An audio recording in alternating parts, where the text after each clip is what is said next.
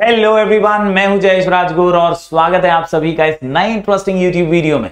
दोस्तों, हम पढ़ रहे हैं क्लास ट्वेल्थ का इकोनॉमिक्स न्यू सिलेबस और ये है चैप्टर नंबर चार का लेक्चर नंबर टू जी हाँ दोस्तों सप्लाई एनालिसिस पढ़ रहे हैं हम। अगर आप इस चैनल पर नए हैं तो ज़रूर से सब्सक्राइब कीजिए बेलाइकन दबाइए, क्योंकि यहाँ आपको लगातार ऐसे ही इंफॉर्मेटिव वीडियोस मिलते रहेंगे। साथ ही साथ दोस्तों, आप हमारे टेलीग्राम चैनल को ज्वाइन कर लीजिए, क्योंकि यहाँ पर आपके ढेर सारे पीडीएफ नोट्स इंतज़ार कर रहे हैं। जी हाँ ज़रूर ज्वाइन कीजिए Sky education official Telegram channel और डिस्क्रिप्शन में लिंक है हमारे सुपरस्टार बैच का, जो करंट ईयर का फ्री बैच है for commerce and art students तो ज़रूर ज़रूर डिजिटली अपना प्यार बरकरार रखिए। आपके लिए सारा फ्री कंटेंट अवेलेबल है। प्लेलिस्ट को ज़रूर चेकआउट कीजिएगा। चलिए आज की इस वीडियो को शुरू करते हैं।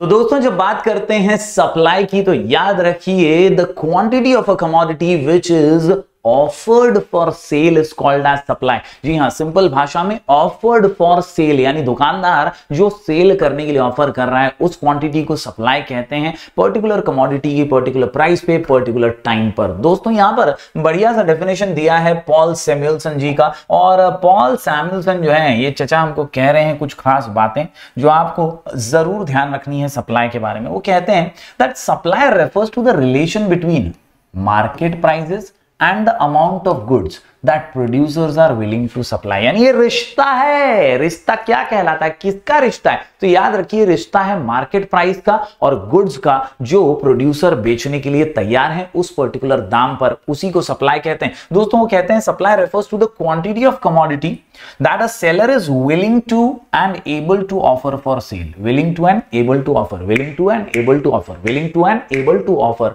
for sale तो कुल मिलाकर के सप्लाई वो है जो हम बेचने के लिए रखते हैं। एक पर्टिकुलर प्राइस पर वो कमोडिटी है किसी का पर्टिकुलर कमोडिटी की क्वांटिटी है, जो हम बेचने के लिए रेडी हैं at a particular price at a particular दाम। तो दोस्तों, उम्मीद करता हूँ सप्लाई आप समझ गए होंगे। यहाँ पर एक ज़बरदस्त उदाहरण भी दिया है कि 4000 किलो यहाँ पर चावल उपलब्ध है फार्मर के पास, जिसमें से चालीस रुपए प्रति केजी पे वो हज़ार किलो देने के लिए तैयार है सेल करने के लिए तैयार है। तो ये जो हज़ार किलो है, वो उसकी एक्चुअल सप्लाई है, बाकी का उसका स्टॉक है। उम्मीद करता हूँ ये एग्ज़ाम्पल के ज़रिए आपको क्लियर हो गया होगा क्या है सप्लाई आज जो दोस्तों हम कॉन्सेप्ट पढ़ने वाले हैं, वो है सप्लाई का शेड्यूल जी हाँ, बड़ा ही आसान सा, बड़ा ही सिंपल सा सप्लाई शेड्यूल हम पढ़ने वाले हैं। और सप्लाई शेड्यूल की जब बात करें तो दोस्तों समझ लीजिए कि सप्लाई का शेड्यूल जो है ना, वो बड़ा ही मज़ेदार है। जी हाँ बड़ा ही मज़ेदार है। एकदम सिंपल से फॉर्मूला बेस्ड तरीके से ये चलता है। हमने डिमांड के अंदर डिमांड एनालिसिस में पढ़ा था। प्राइस नीचे तो डिमांड ऊपर और प्राइस ऊपर तो डिमांड नीचे। उसी तरह यहाँ यहाँ पर भी कुछ चीज़ें आपको दिमाग में फिट कर लेनी है और सप्लाई का फोर्स आप आसानी से समझ जाएँगे। जी हाँ यहाँ पर बहुत ही सिंपल है। प्राइस ऊपर तो सप्लाई भी ऊपर।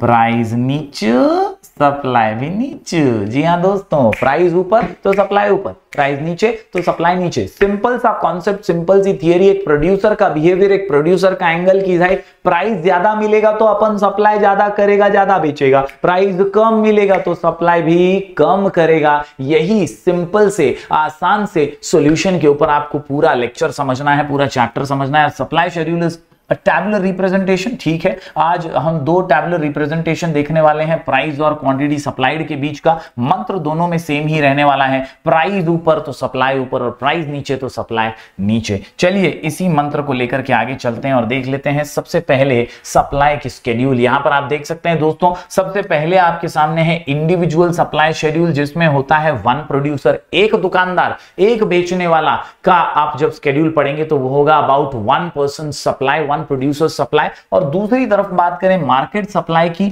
मार्केट सप्लाई का स्केड्यूल में ऑल प्रोड्यूसर्स होते हैं, बहुत सारे दुकानदार, बहुत सारे बेचने वाले। तो सिंपल सी बात है इंडिविजुअल डिमांड मार्केट डिमांड हमने पढ़ा था। एक की डिमांड इंडिविजुअल डिमांड अनेक की डिमांड मार्केट डिमांड यहाँ पर एक की सप्लाई मतलब इंडिविजुअल सप्लाई और अनेक प्रोड्यूसर्स की सप्लाई जो होती है उसे मार्केट सप्लाई कहा जाता है। चलिए एक एक करके दोनों ही कॉन्सेप्ट जो है वो आसानी से समझ लेते हैं। हालाँकि हम कॉन्सेप्ट के बारे में क्लैरिटी जो मैं दिया, वही है। प्राइस ऊपर तो सप्लाई ऊपर प्राइस नीचे तो सप्लाई नीचे। चलिए, नज़र डालते हैं इंडिविजुअल सप्लाई के स्केड्यूल पर। जी हाँ ये जो डब्बा है, आपके टेक्स्ट बुक में दिया हुआ है और ये डब्बा क्या कहलाता है? ये बताता है प्राइस एक कॉलम एक कॉलम सप्लाई का। यहाँ आप ध्यान से अगर देखें तो दस रुपए प्राइस है, सौ किलो सप्लाई है। दस रुपए प्राइस सौ किलो सप्लाई दस रुपए प्राइस सौ किलो सप्लाई दस रुपए प्राइस सौ किलो सप्लाई बनता है, बच्चे बमाए। देखिए, जिस तरह से स्लोली एंड स्टेडीली सप्लाई का आप देखते हैं, बढ़ोतरी हो रही है।